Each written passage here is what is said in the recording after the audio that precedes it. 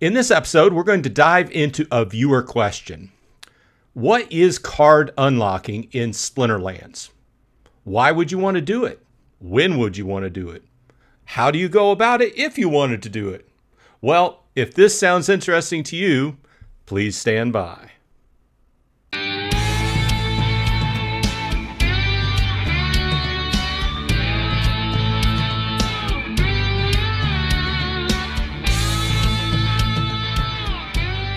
Hey, all you Splinterheads, welcome back. Bronze Dragon here saying, hey, thanks for dropping by. I do appreciate your time. If you continue to like this kind of content, please leave a like and subscribe. Pass it around in all the various uh, social media channels where people are checking out Splinterlands. I would appreciate it. Okay, now in this episode, um, I was going to do a standard episode where I spend my end of season glint, but I've been getting some questions in about uh, the whole process. Uh, in Splinterlands, um, glint is a uh, is something you earn for playing. And you can turn around and you can use that to buy cards or you can buy chests with uh, that, which have a number of different random items, cards among them, but other things as well. But before we dive into that, I want to give thanks where thanks is due. Okay, this last week I want to give a thanks to Aaron Baker, Gathering the Magic, Why Not 1234, Young Eagle 95, KGM Jam, and Barlow, Trash Panda, and of course Blaze. All of these persons did something in the past week to week and a half to help the channel out, whether it's giving uh, super thanks or super chat on the live stream or sending over cards, uh, what have you. Um, I do appreciate all these things help me keep going.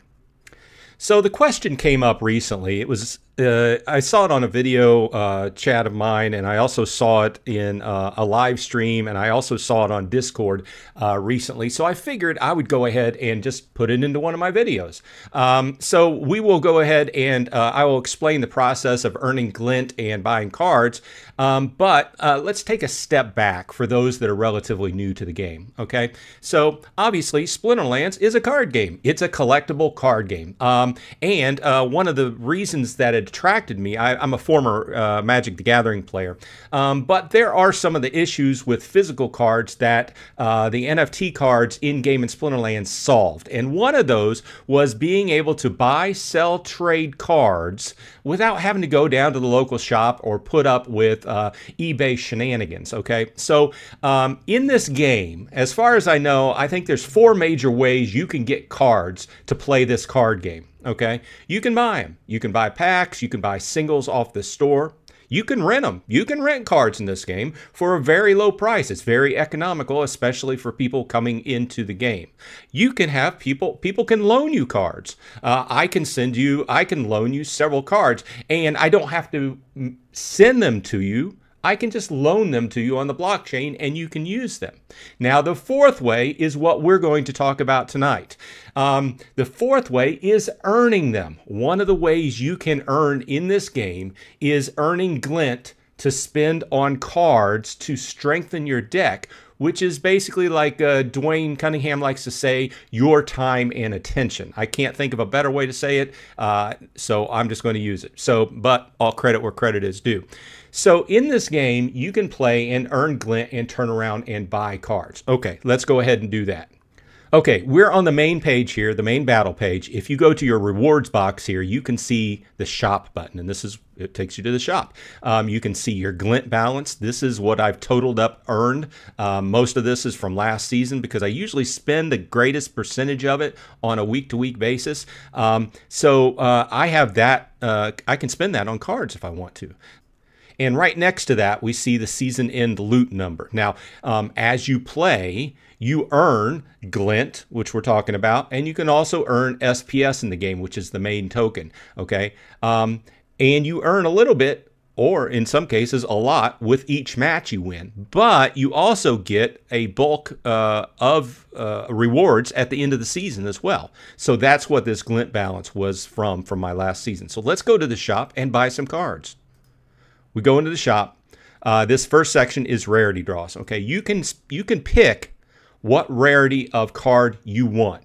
Okay, you don't know which card you're getting, but if I choose epic draws, I know I'm getting epic cards. Okay, now below that, if you want gold foils, then you can choose gold foils. Of course, they cost more, but there's certain advantages of gold foils. We're not going to get into that in this episode, but that's also a possibility here. You can buy loot chests, which I mentioned earlier, um, and you can get cards. You can get multiple copies of the cards depending upon which type of chest you buy, right? Um, or you can get other things. You can get more energy to play in the game. You can get merits. Uh, you can get potions. There's a number of things you can get, and you have a very small chance of getting a really nice prize. Now, below here, uh, you can also specifically buy merits, which is a way to buy a different type of pack, which I like. You can buy energy, which lets you play more in the game, or you can buy potions, which helps you get a higher rarity or more chance of getting a higher rarity or more chance of getting a gold foil card when you open packs or when you open draws. So that's what's available in the store right now. Okay, let's go ahead and just for the sake of um, spending some of my money, if you've been following me, you know I love uh, spending my uh, um, spending my glint on merits. I usually buy the first three uh, ranks of merits batches. Now, as you buy each batch, the cost goes up.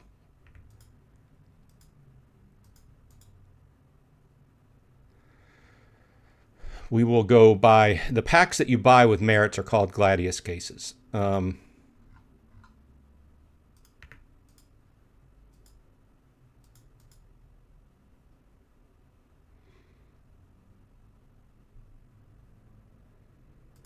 Okay, so now, if you've been following me, you know I love the Epic cards. So I'm going to buy, let's see, a full batch would be 25.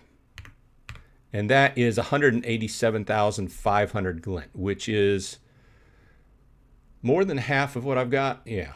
Uh, let's do, yeah, let's go for it. And, of course, I'm going to use my potions. I want a better chance of getting gold foils.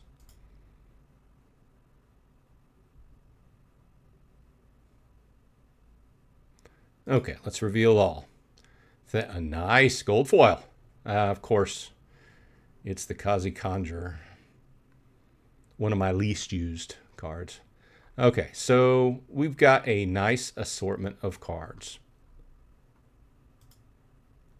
Now, I always buy one legendary draw. These are quite expensive, but I always try to add to my collection a little bit at a time.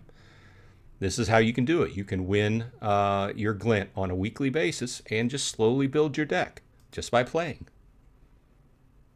Okay, Warborn Chieftain. Okay, and let's buy some rare draws.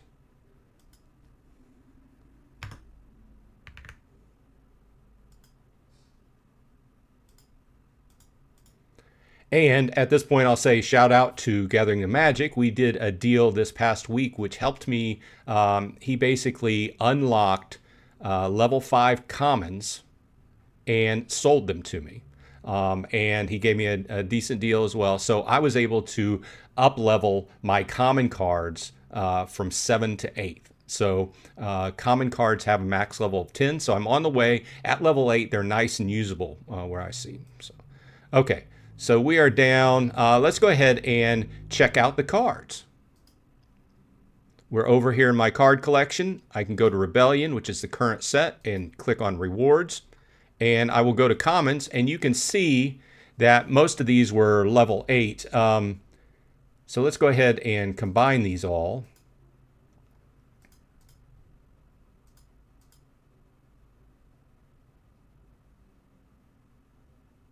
This is another key aspect of the card game, okay? Uh, leveling up your cards. You get single copies, which are referred to as BCX in this game, and to level them up, it takes a certain number of cards to combine to level your cards up. You can take and click on a card and go over to the stats section, and you can see under the card number of cards column how many it takes. It takes 400 commons to make one max level. But as you level them up, they get stronger. Their their stats, they gain different stats, their stats go up. So that's what makes it worth leveling up. Okay. And then continuing with the rares I got, combining them. they're all leveling up nicely. Uh, I guess I fall into the situation of leveling up slowly but surely, but that's what it's all about. This is called uh, leveling up your cards um, through time and attention, like Dwayne likes to say. And let's go ahead and level up. See if any of my level, uh, any of my epics level up. I'm mostly level fours. There's two level threes. This is where the power lies in this set, I think.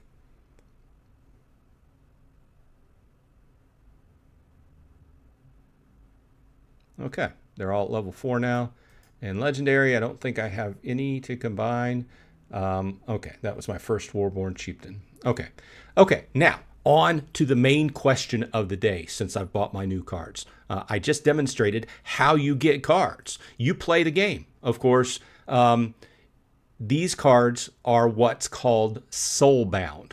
When you play the game and you earn the cards, they are soulbound. So you can play with them but you can't sell them or you can't transfer them to someone else. Okay. Um, so if you wanted to go ahead and unlock, that's the, the term, unlock the card to be able to buy uh, or to sell it or trade it or send it to somebody, you would need to go through the unlocking process. So here we are on a previous uh, set uh, version of a card um, that's locked. You can tell that it has a little chain down in the corner. That means it's locked or it's bound, soul bound to your account. So I have one BCX. I'm just going to use this as an example. If you say, for instance, wanted to unbind this, um, I think unbind and unlock are used interchangeable, but I think by the game's terminology, unbind is the correct terminology. You would see this little chain next to the card, and you could click on that and it will give you the unbinding window. Okay, it'll give you a few facts here. It'll tell you um, because unbinding prices change over time, they progressively get more expensive until they cut off and you cannot unbind anymore. So with this card, we will see that um, the price will progress or get higher in eight and a half days or eight days and 17 hours. Now I have 68 days left to unbind this card. Otherwise, it's going to be permanently soul bound. Okay. Um, so after that, what we look at is the cost multiplier, which increases over time. So uh, the price gets more expensive. Now, uh, you can see that I have a total of one card ready to unbind. This is one BCX, one copy of this card. And in the next line, you can pick how you want to pay because you have to pay to unbind it. You can pay in dark energy crystals, you can pay in credits, or you can pay in uh, DECB. Now, if you're relatively new to the game, then credits are going to be your option. Credits can be purchased directly through the game using PayPal or some other methods, direct money, basically, not uh, having to uh, go and get crypto. Okay. Now, of course, if you have DEC like I do up here, I have both DEC and credits in stock. I could use either one. For ease of use, credits. So like it would take 65 credits to unlock this one copy of this card. But generally speaking, as long as the value of DEC is below 1000 DEC per dollar, it's cheaper to use DEC if you have it. Okay, so with this, uh, with with that said, uh, I chose DEC because 65 DEC is a little bit cheaper than 65 credits overall. I'm going to click Unbind and then you'll get the confirmation. And now, look, the chain is gone. I have this one copy of this card, and I can go back and you can see that this copy of this card no longer has this chain here. Now, I can click on that, and I can send it to somebody. I can uh, list it for sale or rent on the market. I can delegate it, which is the early uh, is the proper terminology for loaning it, like I was talking about earlier. I can lock it. That's like if it's a very important card to your deck and you don't want anything, uh, no possibility of it being bought, sold, traded, whatever off your account, you can lock it, which is a good thing to do. You can even burn it, which is a different topic for a different day.